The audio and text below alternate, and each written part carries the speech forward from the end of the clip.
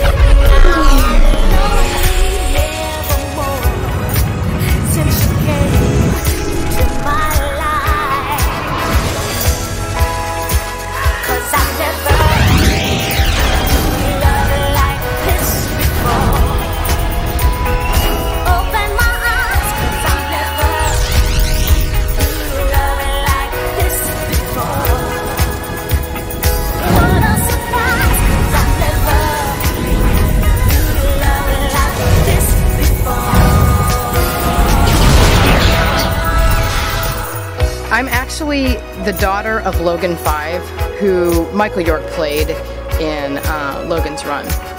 The film takes place about 30 years after all those people who like lived in those upturned salad bowl, crazy futuristic city after they all came out and everything um, to, to start new lives. In fact, like Michael York's character, I'm a sand girl, but a little bit more sleazy because I've been living in this futuristic city, the, the ruins of it. Um, that's why I don't have an English accent.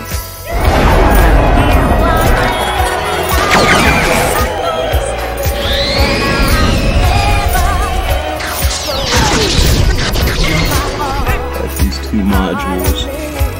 These two modules that can run I.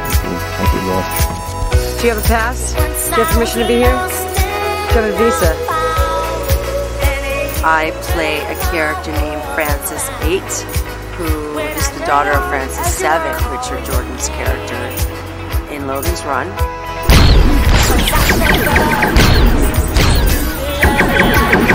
My character is a sand girl, and she's chasing Stargirl 7.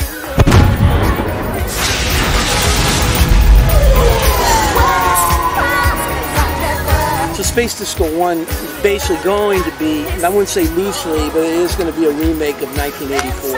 And like I said, with Buck Rogers and Battlestar Galactica, all that put into one, and a little bit of Logan's Run too. Well, some of the characters I've taken from Logan's Run because I just dig the film. I think it's such a groovy film. And uh, I wish we had Dale Hennesy do the set design on this. He won an Academy Award for Logan's Run uh, for set design. He went on to do the set design for Dirty Harry.